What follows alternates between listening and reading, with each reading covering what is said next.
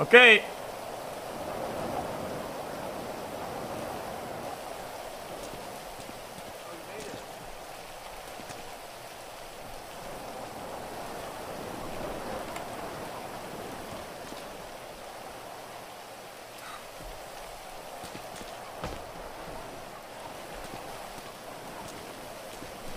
Oh shit!